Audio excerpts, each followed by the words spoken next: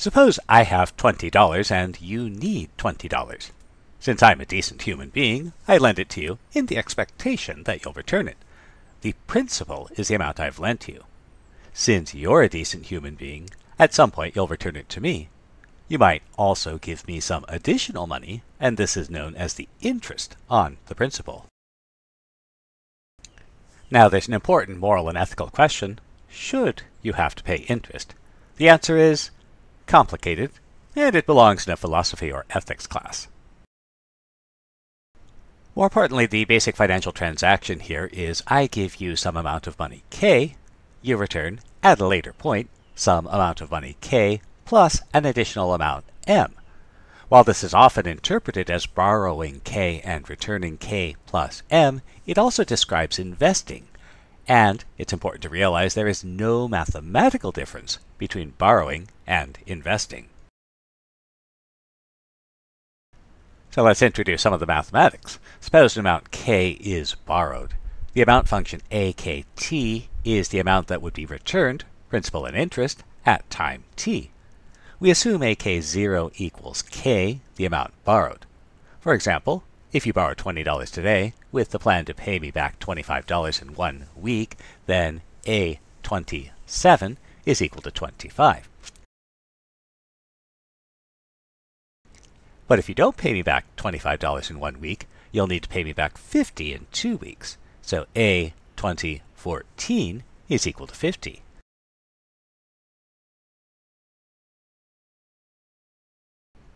So suppose you agreed to A27 equals 25 and A2014 equals 50. What about A21? This is the amount you'd owe if you paid me back one day after you borrowed the money. This would be, well, here's the problem. If it's not written down, it didn't happen. And in the financial and business world, this really means if it's not written down, it becomes a lawsuit. We want to avoid lawsuits. So we might phrase our borrowing terms a little bit more precisely. Suppose you borrowed $20 and agreed to return $25 if you paid me back within seven days. Find A23 and A20 0.001.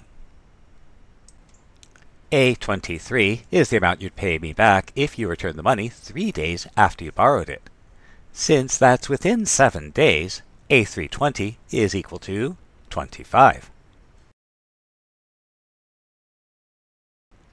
A20 0.001 is the amount you'd pay back if you returned the money 0.001 days, about 86 seconds after you borrowed it. Since this is within 7 days, A20 0.001 is 25. It may seem unfair you'd have to pay back the full amount plus interest, even if you paid the money back almost immediately. But that's what was written down. Now, historically, this unfairness has been addressed by religious leaders telling people it's immoral, legislators passing laws that limit the power of the wealthy, or robbing banks. None of these work very well. What does work? Mathematics. And it's important to remember to fight injustice, quantify, and compute. Generally, we can compute the amount using a mathematical formula. And a common method is simple interest. In simple interest, let amount k be invested at simple interest rate s per unit of time. Then AKT is k times 1 plus st. The interest is simple because it's based on only two things the interest rate S, the principal K, and the time T. Now suppose $1,000 is invested at simple interest with a rate of 5% per year. How much will this become after two years or after 30 months? We have the amount invested is 1,000. The interest rate is 5%, which we need to convert to a decimal. And so our amount function, A1000t, is 1,000 times 1 plus 0.05t. And we can compute, after two years, a 1000 of 2, substituting that in gives us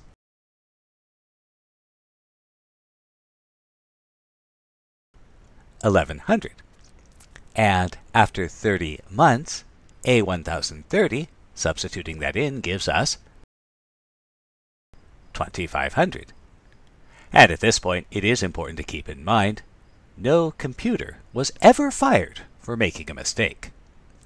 So the computer makes it very easy to calculate things like A1030, but if we did calculate this, we'd be wrong. So let's take this apart. The interest is 5% per year, so we must measure time in years. And so 30 months must be converted to an amount in years. And so to convert, there's three ideas to keep in mind. You can multiply anything by 1. 1 is a quantity divided by its equal, and units act like algebraic variables. And so we convert. 30 months is the same as 30 months. Now, we want to remove this factor of months, so we'll divide by it. We'll put month in the denominator. We want to express our final answer in terms of years, so we'll put years in the numerator. And if I multiply, it's got to be multiplied by 1.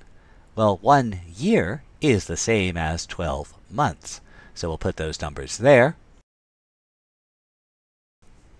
And completing our multiplication gives us 30 months is the same as 2.5 years. And so we need to calculate a 1000 of 2.5, which works out to be 1125.